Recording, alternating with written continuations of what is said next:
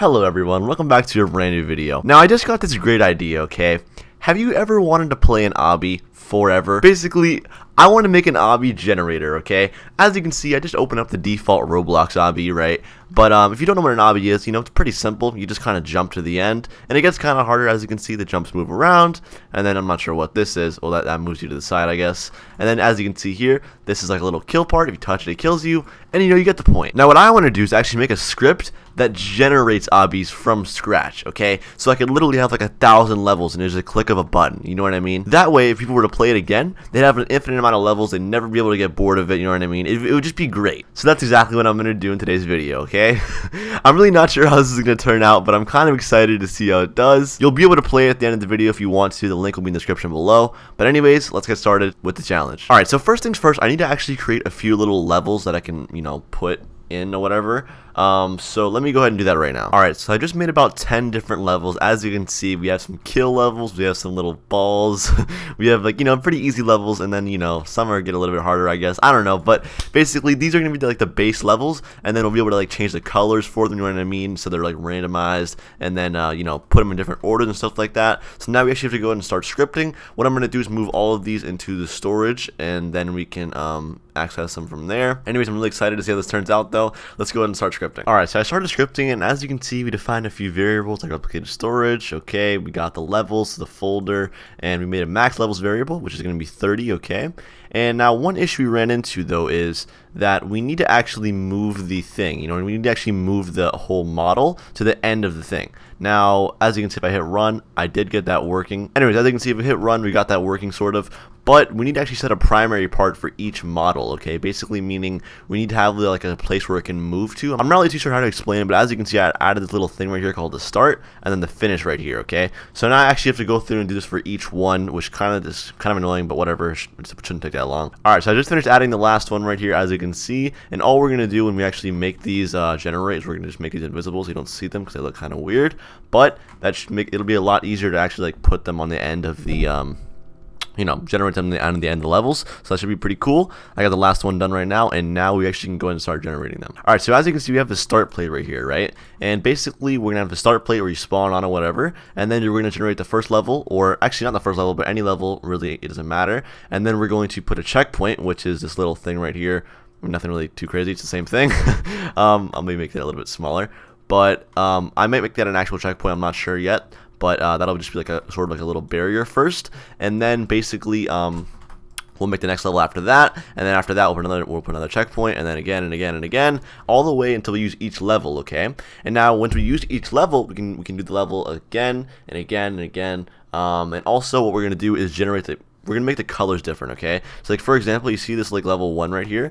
What we can do is make like each color like random. So that way it'll okay, add a little bit more variety to the obbies and stuff like that. Um, so it's not the same thing. So yeah that'd be pretty cool. I'm excited to see how this works. Alright so I've gotten basically the first level generated right? As you can see we have all levels here in replicated storage right? And basically the script says okay pick a random level out of here and it picks it. And then it sets the primary part which basically helps it move. And then we set the parent to workspace right right here as so we can actually see it in the workspace and then we set those little parts I made earlier to invisible, that way you don't have to see them. And then basically we do some math to find out where we should put it, right? And then um, we actually clone the checkpoint after, put it on the end of it, and then add one to the name, that way we know it's there. Now as you can see, we hit play, it generates fine, right? As you can see, there's not a little thing there, okay, the level's right here. Um, it's probably pretty easy, but we can always change that later. But as you can see, it does generate the level, and it does put the checkpoint at the end right here, okay? So that works good. Now, it's time to actually see if it generates the whole thing. Now it should I'm not sure though, but um, I don't know. We'll see what happens.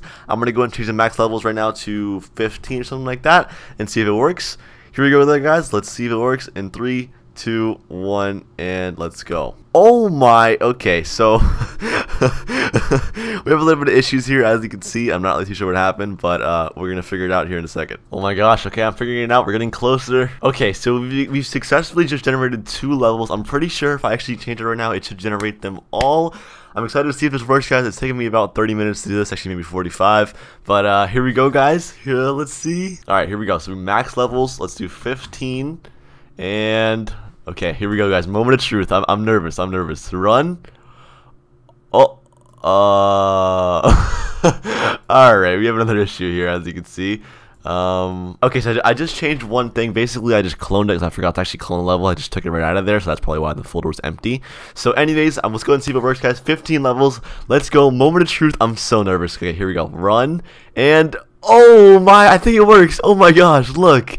Okay, as you can see, we have each level right here. Everything just kind of goes on and on and on. And wow, that's literally it. That's literally the whole game. I can make a thousand levels right now. You know what? We're going to try it. We're, we're going to try it. Actually, wait, I want to wait for that, okay? I, want to make a thousand levels. I know it's probably going to crash my Roblox game, but who cares? Um, but let me actually save the game first so I don't actually lose all this stuff.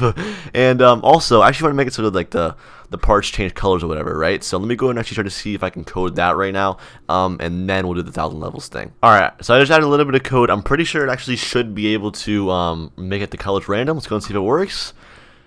Oh, okay, that didn't work. um, okay, so, okay, slight issue. That makes sense, though. And there we go, boys. Oh my god, this is so cool. Okay, as you can see, it literally has random random colors now. Literally, this actually looks like it actually could be unique. You know what I mean? It looks like it actually could be like a bunch of different levels. Oh, uh... Wait, one issue though. So this is like a kill part, right? And uh, as you can see, the kill part, um, it has random colors, which is pretty odd looking. But it's a pretty simple fix. I can fix that really easily if I wanted to. But honestly, I kind of like it actually. Like th this part's fine, but this one, yeah, you kind of you kind of need to actually know. All right, and there we go. As you can see, it works just fine. Everything is fixed. Oh, okay. Well, it still looks kind of weird because it could get red, but that's fine. It looks good. Anyways, that's pretty cool. Let's go ahead and play the obby now, right? We want to actually play our game, so let's see. Let's see if it, let's see if it's fun. All right, so I'm gonna go ahead and hit play, and then it's gonna spawn us in, and then we're gonna we're gonna we're gonna get some sick obby gameplay, okay? All right, so as you can see, we're in the game, and uh, you know now we just do the obby, okay? and as you can see, it works just fine. This is actually so cool. Now, obviously, it is kind of weird how it um. Oh, I just I just wait. Let me delete the base plate. What am I doing? Alright, anyways, now obviously it is pretty weird how like the obby just kind of goes straight forever, but we could change that, you know what I mean? Oh, we forgot to anchor that part.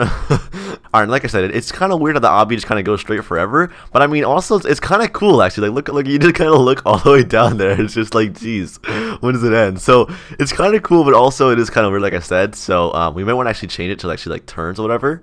But I mean, for now, you know, it works fine too. Literally everything works. This is so awesome. So yeah, but for now I guess it's fine. You know, maybe we can do like an updated version eventually. But honestly, I kind of like it. Now, obviously, if I were to actually make this game like a real game, I'd probably add some like skip levels or something like that. Maybe I'd add it so you can like buy admin command or something. Um, but I could do a lot of stuff for this game. You know what I mean? If I wanted to.